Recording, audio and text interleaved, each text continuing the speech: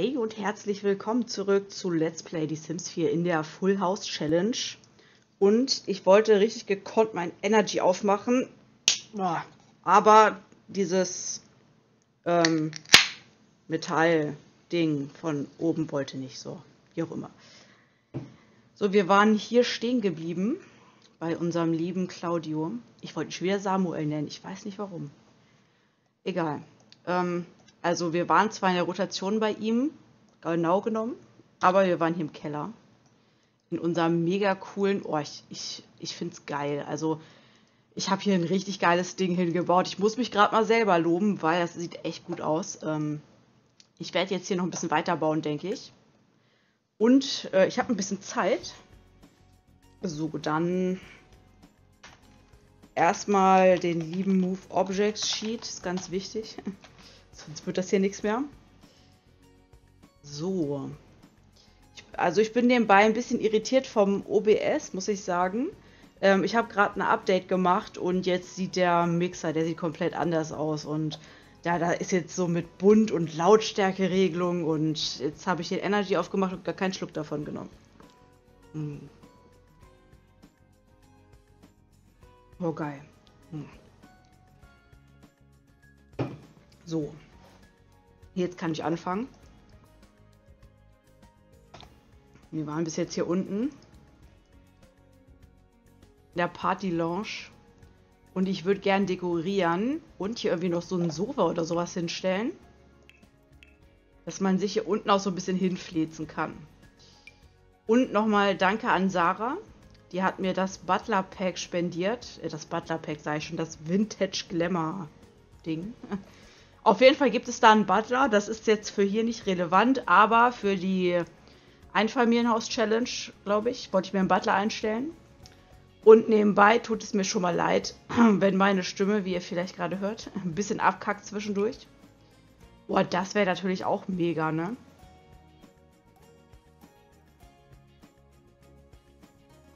Ich finde hier Gefallen an den Items. Ich glaube, der passt hier aber besser hin. Sag mal, gibt es bei denen überhaupt einen Unterschied? Hohe Lehne und Plüsch. Retro-Dinette. Ach so, der, das Ding da sieht anders aus. Ja, wir, wir nehmen das. Und zwar auch gleich in schwarz. äh, sorry wegen meiner Stimme, ne? Aber es geht nicht anders. Okay. Soll ich jetzt hier den Tisch einzeln verschieben oder was? So. Schön neben dem DJ-Pult so eine fette Couch hinstellen. So, also das Vintage Glamour Pack. Heimtückische Bettstadt. La Luz der Löwe. La Luz heißt doch das Licht. Indiskrete Trennwand.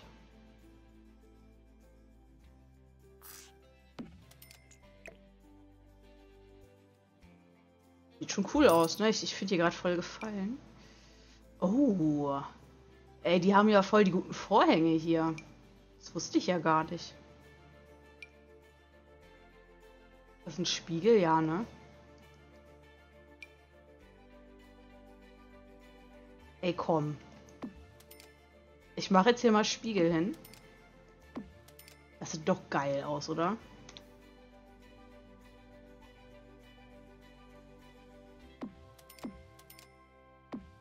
So, jetzt haben wir unsere Deko mit Spiegeln verschwendet, aber das ist kein Problem. Wobei das hier... Nein, wir lassen das so. Wir stellen jetzt diese Dinger hier noch ein bisschen hier vor. Hier haben wir schon alles verscherbelt, ne, genau. Ich werde jetzt später dann noch ein bisschen die Deko weiter einrichten. Also so ein bisschen mit Blümchen und sowas. Ja. Er steht in der Sauna, alles klar. Gut, dann können wir auch schon weitermachen mit Claudio. Der irgendwie mal ins Bett muss anscheinend. So. Ja. Ähm. Wo ist der Schreibtisch hin?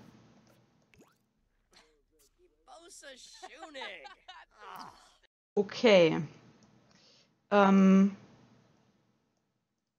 ja. Wir haben das, was wir verkauft haben, wohl doch nicht alles aus dem Pack bekommen, äh, aus den äh, Berufen, sondern aus dem Zimmer von Damien. Ups. Egal. Wir haben dem Gamer seinen Computer geklaut, ey. Wir werden ziemlich ähm, Stress mit dem bekommen, wenn er das erstmal merkt, aber egal. Wir haben, glaube ich, auch sonst nirgendwo äh, Computer rumstehen offen, oder? Ich glaube nämlich nicht. Okay. Wir werden ihm seinen Computer auch wiedergeben. Wenn er dann wieder dran ist, Fuß. Solange muss er leider ohne klarkommen. Victor hat Sing erworben. Ach du Scheiße, ich höre ihn nur voll rumschreien. Oh mein Gott, sieht das gut aus.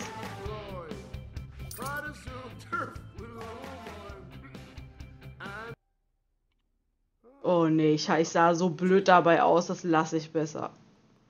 Boah, Leute, guckt euch mal an, wie geil das hier ist. Guckt euch das an. Ich muss jetzt mal hier durch. Warte mal, wir haben ja mit Decke, ne? Nein, nein, nein. Ich wollte doch in den Keller. So, hoch. So.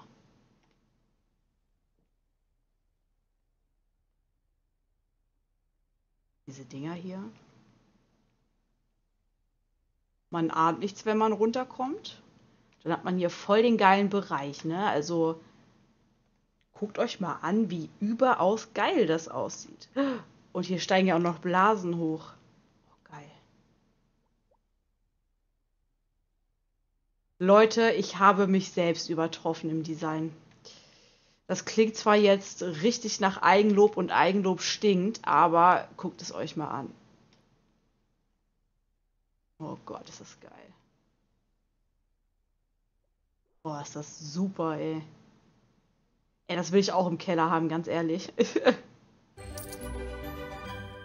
Schön. Okay, wir, wir widmen uns dem Spiel wieder. So, wenn mein Mausrad jetzt wieder ein bisschen funktioniert.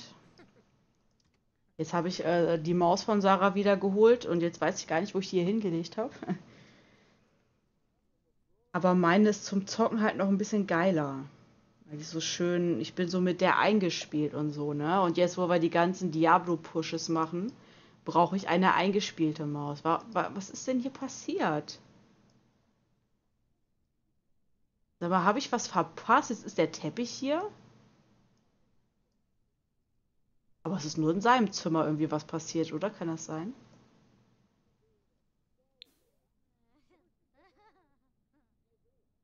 Der Rest sieht hier normal aus. Er hat mal wieder Hotdogs bei sich stehen, die äh, stinken, aber ist ja alles normal.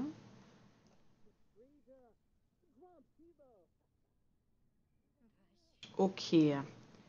Ich glaube, die Blase hat hier nicht gehalten, aber warum muss man das wegmachen? Das stinkt ja nicht oder so. Nein. Ich lasse einfach die Pfütze vor meinem Bett liegen. Die Polizei ist klärdicht auf den Fersen und die Brücke über den Fluss ist wegen Reparaturarbeiten geschlossen. Sie muss so eine 180-Grad-Wende hinlegen und versuchen, sich zwischen ihren Verfolgern hindurchzuschlängeln. Oder wäre es vielleicht möglich, mit Vollgas über die Brücke zu springen? Das letzte Mal sind wir mit Vollgas über die Brücke gesprungen und das war nicht gut. Wir machen mal die 180-Grad-Wende. Es ist immer gut, in die Arme der Polizisten zu laufen. So. Claire übersteuert beim Wenden und das Auto kracht in die seitliche Begrenzung der Brücke. Einer der Streifenwagen verfehlt es um Haaresbreite. Die Bande kann gerade so entkommen, aber das Fluchtauto ist ein Totalschaden. Ja, dann hätten wir lieber das Auto ein bisschen kaputt gemacht, als wir drüber gesprungen wären. Okay, das merken wir uns mal. So, Claudio wurde beim Schlafen befördert. Ja, das möchte ich auch gerne mal machen. Klassisches Antiklavier. Oh, wir haben ein Klavier bekommen. Er hat zudem den folgenden Bonus erhalten. So, wir haben ein Klavier bekommen, das heißt, wir müssen ein Klavierzimmer im Keller errichten. Und Viktor läuft halbnackt durch die Bude. Ganz normal. So, du wirst jetzt mal fleißig arbeiten, das habe ich jetzt natürlich mal wieder vergessen. So, wem fehlt jetzt hier noch das Luxusbett? Irgendeinem fehlte das noch. Hier. Ja, bis wir da sind, haben wir bestimmt wieder ein bisschen Geld gemacht. Die Leute verdienen ja hier gut, da kann man sich das mal gönnen. So langsam nimmt das Haus auch echt Form an hier. Wir könnten auch so ein bisschen mehr Deko hier einrichten. Wobei ich bei Fluren immer recht, äh, ja, unkreativ bin. Ihr kennt mich und Flure. Und Gärten sind auch manchmal so eine Sache. Hier haben wir ja schon angefangen, das geht ja so langsam. Hm. Einfach den Balkon mit drei Staffeleien ausstatten. Das ist ganz normal. Ich habe überlegt, ob wir den Garten erweitern, dass wir den irgendwie hier noch hinziehen. Und vielleicht, also einen Pool haben wir jetzt ja im Keller, dann brauchen wir keinen Gartenpool mehr. Wobei man auch beides machen könnte, ne? So ein Outdoor-Sprudelbecken-Dings ähm, wäre auch nicht verkehrt. So, wie sieht es denn hier aus? Den, den Flur hier unten, den Eingangsbereich, den haben wir schon schön eingerichtet. Ich finde, er ist auch gut geworden. Jetzt brauchen wir die noch in diesem unterschriebenen Modus, dann sieht das alles auch noch besser aus. ich glaube, das kriegen wir auch. Wir könnten hier mal so hochwertigere Türen vielleicht einbauen. Ich meine, die sehen ja so voll ver verranzt aus. So als ob man da ständig gegengekommen ist mit einer Machete aus Versehen. Das, das passiert halt, ne? Dass man. Okay, ich, ich höre auf zu reden. Ich lasse es besser. So. Ja, das, oh, willst du mich eigentlich verarschen? Du stehst hier halbnackt vor der Blume und redest mit ihr. Anstatt dich mal darum zu kümmern, weil alle schon wieder Läuse haben, ne? Nee. Ich schwing mir ein Handtuch um und gehe erstmal in den Garten. Das macht man heutzutage so. Warte mal, ich muss erstmal automatische Lichter nochmal machen. Es ist einfach dreckig hier. Gut, du räumst auf, das ist sehr schön. So, ultimative Haushalts-AG. Wir haben natürlich die Person abgekriegt, die nicht in der ultimativen Haushalts-AG ist. Oh. Wir können mal Gruppenvorteile kaufen. Für die Einzelgänger, wenn wir schon mal dabei sind. Wir haben hier schon den Fauststoß. Wir können die Gruppe mal erweitern. Dass wir dann auch den letzten reinholen können. Wer auch immer fehlt. Wir haben vier Männer und drei Frauen. Das heißt, Lilly fehlt. Lilly fehlt. Romantikbonus. Äh, nee, besser nicht. So, was kann man denn jetzt hier mal fördern? Wir haben gesagt Grillen und Computerspiele. Das heißt, dass wir einen Videospielboost uns erstmal ergattern. Ja, das sieht, das sieht gut aus. Oder dann starten wir doch mal die Versammlung, oder? Tanzen. Nein, nein, nein, nein, nein. So, wir fügen erstmal Lilly hinzu. So, jetzt ist Lilly nämlich auch hier drin. Und wir müssen mit der anderen Gruppe dann dafür sorgen, dass Claudio da noch reinkommt. Und dann läuft das.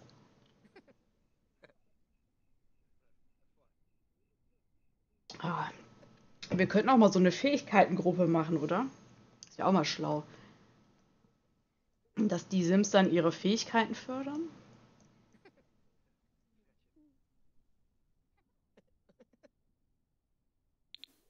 So, wie viele tanzen jetzt und gucken Fernsehen? Gar keiner. Sie spielt bei sich Computerspiele. Der Rest schläft doch.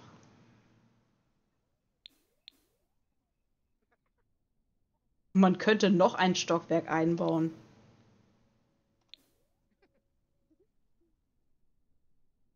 Das wäre eine Idee.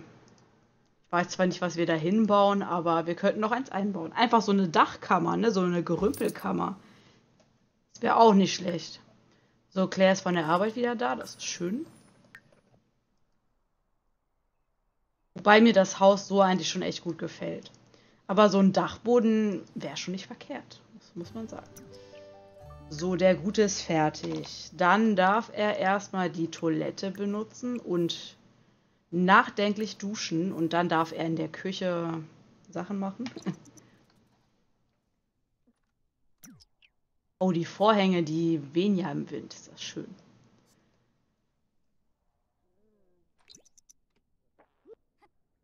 Was? Er macht einfach und er stand noch drin. Ich sag dazu mal nichts. So, mit diesem einen Bad, das ist einfach eine Katastrophe, ehrlich gesagt. Das ist echt eine Herausforderung in dieser Challenge. Aber mit diesen Gruppen kann man echt gut steuern, dass die vielleicht auch mal Sachen machen, die sie tun sollen. So, dann darfst du mal arme Ritter servieren. Ich finde, dass das eine gute Idee ist. So, mittlerweile haben wir auch voll die Premium-Porno-Küche so eingerichtet. Ich weiß noch zu den Anfängen, wo wir das Haus hatten, ne? Ach, krass, ey. Also Folge 100 muss ich mal so einen Vergleich machen.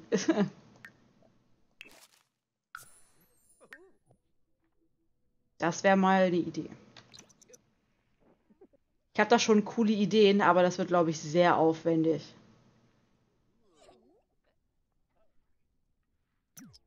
Aber es wäre ein sehenswertes Video, glaube ich. Lilly muss dann zur Arbeit, das ist schön. Wie sieht es denn hier mit dir aus? Ja, du hast zwei Tage bis zur Arbeit, musst noch Klavier, Gitarre und Geige können. Nee, nur Gitarre oder Klavier. Hm, Instrument spielen, noch nicht begonnen. Gut, er isst jetzt sowieso erstmal. Über Kochen reden. Über neueste Spiele reden, was man halt so macht am Frühstückstisch, ne? Schwedische Massage durchführen. Okay, nee, besser nicht, sonst gehen die in den Keller. Das will ich jetzt gerade nicht. Über Logikrätsel reden. Lilly hat die Tanzfähigkeit erworben. Okay. Rein aus Interesse, sie steht vorm Spiegel und tanzt. Okay, gut zu wissen. so. Dann, lieber Claudio, ich werde dich jetzt mal instruieren, ähm, Dinge zu machen.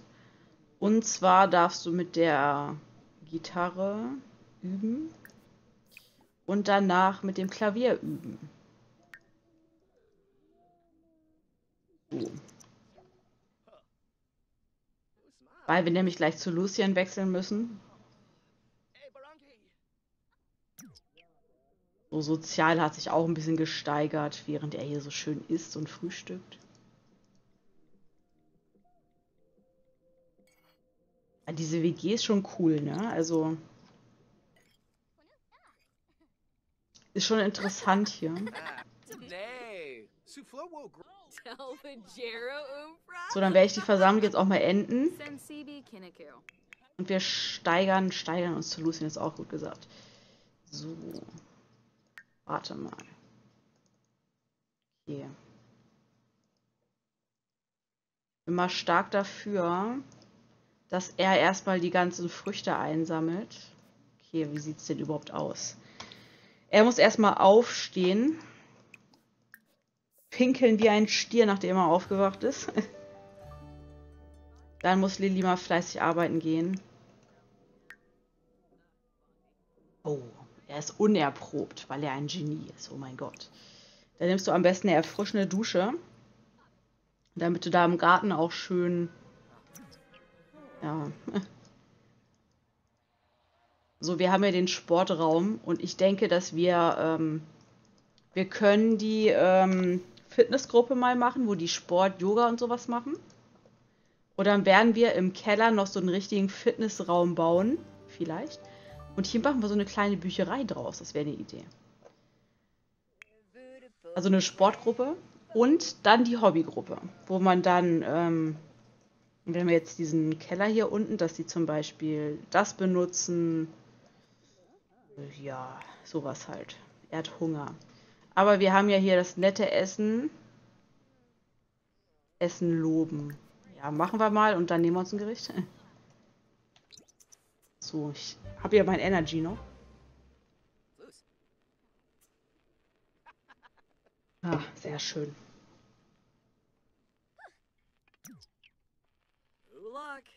Warte mal, Essen. Ach so, arme Ritter ist eingerichtet. Von Essen begeistert. Hat da etwa jemand Essen gesagt? Das ist einer von uns.